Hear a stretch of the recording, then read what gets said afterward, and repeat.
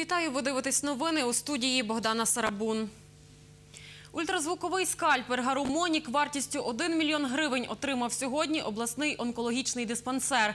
Для того, щоб зібрати кошти на його придбання, активісти лідерського волонтерського руху організували у Фейсбуці благодійний флешмоб «Цитрус Лайф». За правилами його учасники мали перерахувати 100 гривень на спеціальний банківський рахунок, з'їсти четвертину лимона, зафіксувати це на відео, поширити в мережі і передати естафету друзям. Як розповів головний лікар обласного онкодиспансеру Леонід Шкробот, з допомогою цього апарату можна проводити понад 400 оперативних втручань у рік.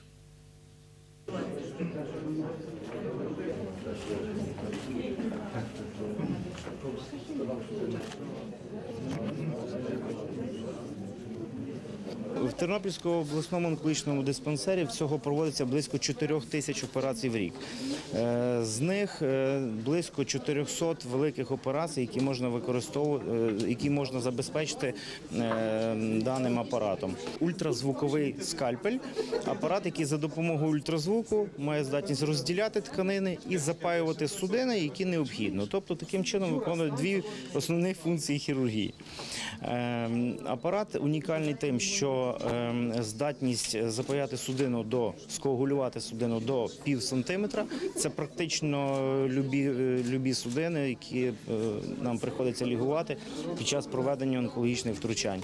Надзвичайно корисна річ при виконанні лімфодисекції, які є е, основною умовою для якісного виконання онкологічних операцій. Зазначу, організатори благодійного флешмобу обрали лимони тому, що в них є речовина, яка притуплює розвиток онкологічних клітин в організмі, розповів керівник проект- проекту Сергій Кічула. Репортаж дивіться о 19-й годині. Також його можна переглянути на нашій сторінці новини ТТБ Обласне радіо у соцмережі Фейсбук. 100 років сьогодні виповнилося Михайлу Гавловському. Чоловік має сертифікат рекорд найстаршого тернополянина. 28 серпня цього року Михайла Гавловського внесли у книгу рекордів Тернополя. У нього є двоє праправнуків, шестеро правнуків і четверо онуків. На сотий день народження в оселі Михайла Гавловського 16 людей. Це близькі родичі. На початку святкування він говорить тост. рідним, близьким. От, віддати що ви бо приділили мені в моєму житті стільки уваги на многі літа. Дай Бог, щоб ви так само дожили сотні років, як і я. От 100 років це не легкий день, це вам не 9, не д- 10 днів і не 10 років, а це 100. Це ж в цих 100 років мені прийшлося всього бачити і добра, і більше зла. Дай Бог, щоб ми цього не, не доживали, а тільки були завжди крепкими, здоровими, і ніяких воїн, і всього.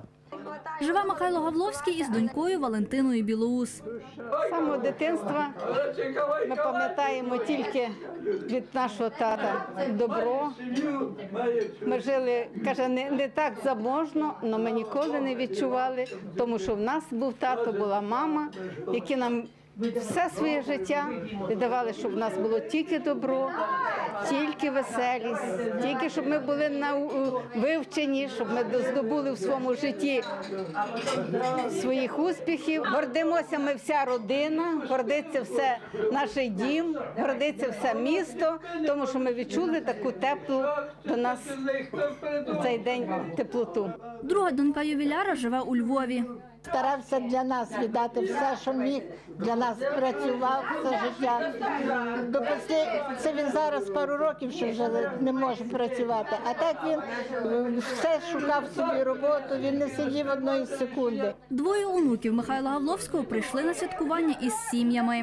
Вже нагадали ми, у нас снилося, що йому ворожка, яку він зустрічав в 44-му році в Чорткові, що сказала, що ти проживеш довге і щасливе життя. Ну, от він по сьогоднішній день її згадує і розк- розповідає, що буквально десь може за півроку, вже в цьому році, що вона йому наснила, сказала, ну, Михайло, каже, ще 5 років ти проживеш. 100 років це є 100 років. Не кожному дано це прожити і так далі. Це людина прожила століття. Він родився в 1918 році. Це зовсім інше століття було. Це зовсім інші люди були. Це зовсім інші події були. В його житті сталося дуже багато. Дай Бог, щоб ми так змогли. Правнучка ювіляра розповіла, раз у два місяці приїздить зі Львова до свого прадідуся. Дуже пишаюсь ним, що він стільки років ще досі при пам'яті, при ну при здоровому глузді. І дуже любимо його історії. Він завжди нам розказує про якісь там якісь роки, які ми взагалі навіть собі в уявленні то не можемо якось скласти. Е, приклад безумовно беремо. Марта Журавель, Андрій Прокопів. Новини. Сьогодні в обласному художньому музеї репрезентували виставку репродукції 18 фресок каплиці Святої Трійці Люблінського замку, яким виповнилося 600 років.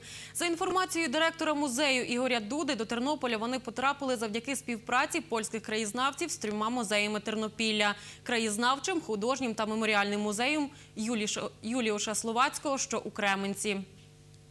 Великий князь Владислав Ягайло не випадково, напевно, замовив е, саме у групи е, майстрів, ясно, що руського походження, і закінчував е, ці розписи маляр Андрій.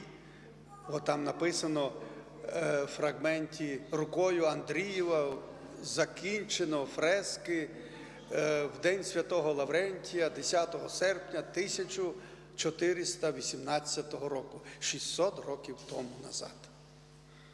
Ну і треба буде, напевно, е, віддати належне тим реставраторам, які працювали тут, бо фрески були затиньковані, замальовані були, які відновили їх, які працювали протягом ста років, бо їх відно...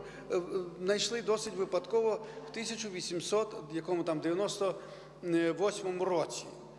От. І протягом ста років, ну, та власне кажуть, що і до сих пір ще продовжуються якісь реставраційні роботи.